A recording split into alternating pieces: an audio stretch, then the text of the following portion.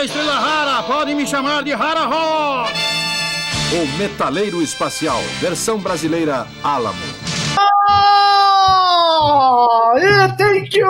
Chupa, Kleber! Chupa! Era o único que não queria! Rara Rock!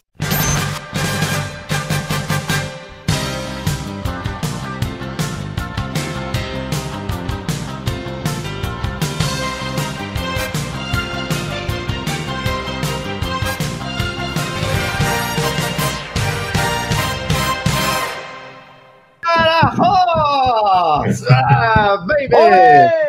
Olê! Thank you! O terror das menininhas da estrela Kitara. Menininhas da Estrela Hélia, estão me vendo? Gracinhas da Estrela Kitara, estão me vendo? A minha luta está sendo transmitida ao vivo para todas vocês. E aí, gurizada, vamos falar um pouco do nosso querido Rara Rosa, o metaleiro, o Elvis do espaço. Então, o Rara Rosa era aquele monstro que. Se, falando, falando um pouco da, do como, como foi espectador, né? Da, da, da, geração de criança lá. Então, o Rara Rosa era um monstro que, quando é ele criança, ele é muito marcante, cara. Ele é legal, ele é carismático, ele tem postura. E quando o cara é criança ali, né? Os anos 80, tu ser roqueiro, tu tocar guitarra e andar de skate era o troço mais legal do mundo. Tipo, eu, eu quando via o Marty McFly do De Volta para o Futuro, eu ficava alucinado, cara. O cara tocava guitarra e andava de skate, cara. Pra mim, aquilo ali era o ápice, o auge de tu ser um jovem, um adolescente, tá ligado? Pra mim, aquilo ali era. O Hara Ross tocava guitarra, cara. Ele era admirado no universo por isso. Hum, thank you. Então, os Changeman saem do ar, ficamos naquele ato sem ver nada, e aquele monstro sempre ficava na cabeça. O Hara Ross, que era o roqueiro, que tinha o óculos, né? Que tinha a câmera lenta, então essas características nunca fez esquecer o Changeman. Mas o Ross sempre teve forte na minha, na minha lembrança, né, cara? Eu tô arrepiada. É, e o, e o que ajudou muito o Ross também, né, gurizada? É o, o, o, visual dele, né? Que é, que é bem chamativo, bem assim, diferente, né, cara? E, e esse negócio da temática do rock, né? De, de, de fazer esse, essa lembrança com Elvis, né? Então, a, até concordo com o Cleber nisso aí, né? Ele, ele facilita pra gente lembrar dele, né?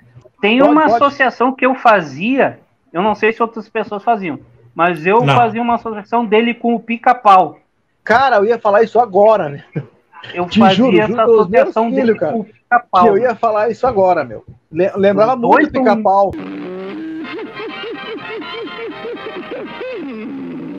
É, cara, na minha opinião, é o meu monstro preferido, é o Rara Ross. É o que eu mais gosto. Tanto é que quando eu vejo esse episódio, eu não gosto de assistir ele sendo destruído. Eu não gosto, eu paro o episódio, sabe? Porque eu gosto muito dele, bicho. Aí eu fui.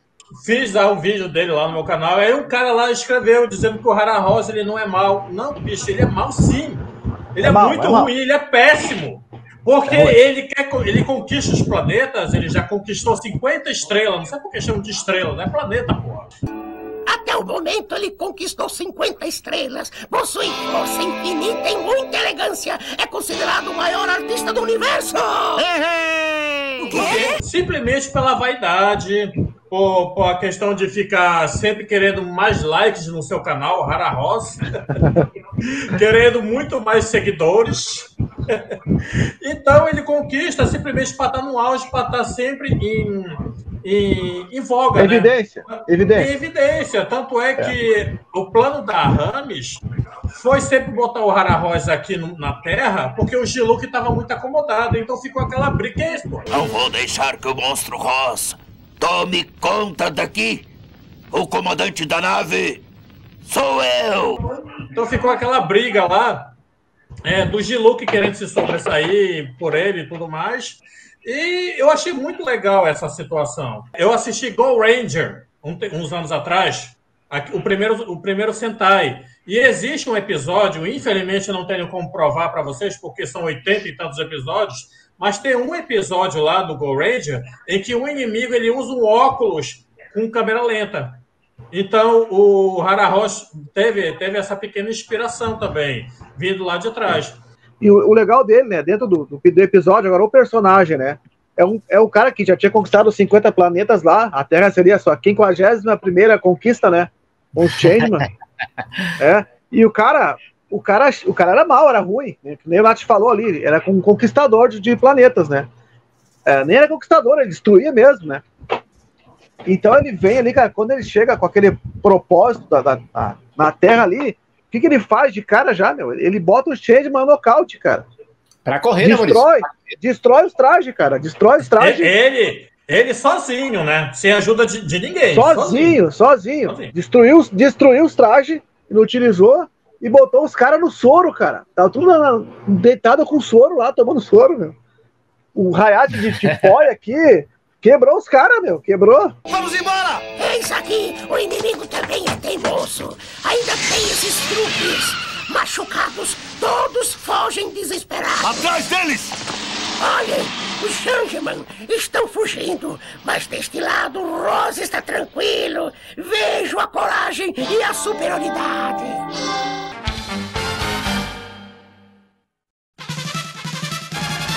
É, quando a gente assiste depois de velho, a gente começa a analisar.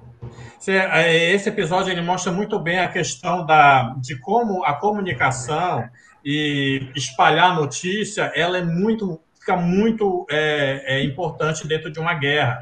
Coisa que, que aconteceu muito durante a Segunda Guerra Mundial, em que a notícia era espalhada e às vezes chegava chegava atrasada para os países, mostrando que algum, algumas potências estavam ganhando, outras não.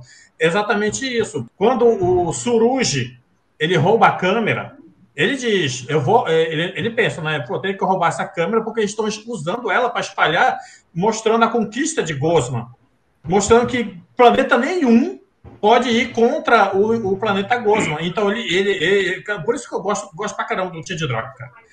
Ele rouba a câmera e começa a mostrar os povos dos outros planetas, mostrando que tem pessoas que estão agindo como resistência ao planeta Gosma para todos aqueles que estão sob o poder de Gosma.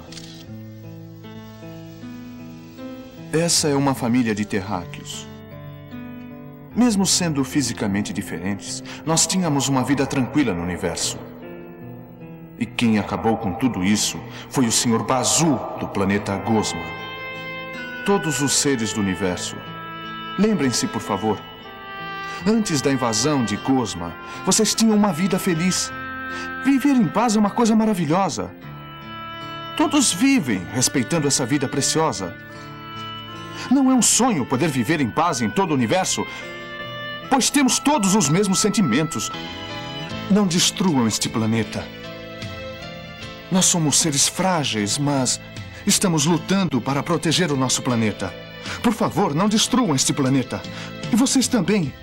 Levantem-se e enfrentem o Sr. Bazu é, analisando esse episódio, ele tem uma profundidade muito boa, cara. Muito boa mesmo. Esse é o que engrandece Sim. ainda mais a, a, história desse episódio, que, eu, que faz com que eu goste mais ainda de Changeman.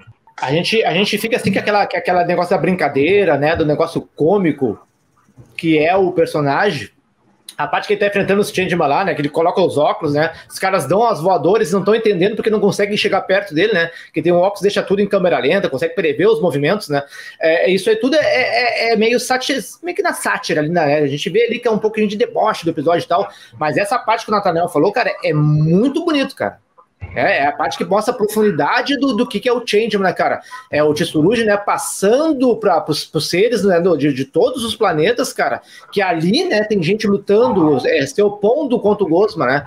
Que de alguma forma a, a, o povo da Terra está combatendo para não deixar acontecer o que aconteceu com outros planetas. Tsurugi, você me fez chorar. Enfermeira, eu não tenho mais medo de injeção. O grande mostra no episódio que a, a grande fraqueza do Hara Rosa era ainda a vaidade, tanto é que ele mantinha escondido os olhos caídos. Quando a Shima olhou e ficou, ah, não quero mais, ele ficou com medo, com certeza. Não foi, infelizmente não foi abordado isso, mas ficou com medo que muitas outras, é. outras é, é, fãs dele poderiam ver como ele é feio, né? Mais do que o normal. É. Sem graça. Ele era vaidoso e astuto, né, cara? Ele não era um monstro poderoso, cara. Ele era um monstro bem armado. Ele tinha o óculos e tinha aquela guitarra que era uma arma mortal. Sem aquilo, não era nada. Era um articulador, era um, era um esperto. Então não era, não era um monstro poderosão, era um monstro bem armado, que sabia usar o que tinha. Boa, e causou, né? Causou muitos ciúmes no Buba, né?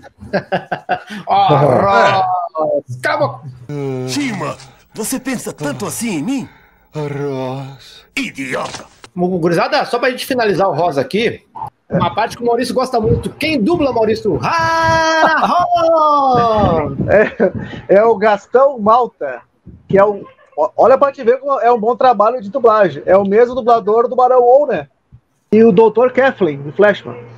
Tu vê que é o mesmo dublador, mas um trabalho totalmente diferente, né, cara? É. Gastão Malta era gênio, né? Com todos os dubladores que nós já conversamos, né, Maurício? Sempre falam Sim. maravilhas do, do Gastão Malta, né?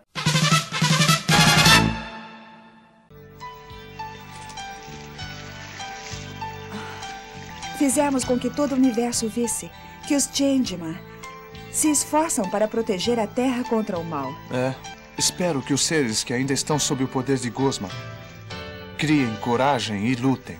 Os Changeman acreditam que os extraterrestres que possuem sentimentos se reerguerão. Para isso, os Changeman precisam lutar. Mostrem para todo o universo que os terráqueos possuem coragem e só querem a paz.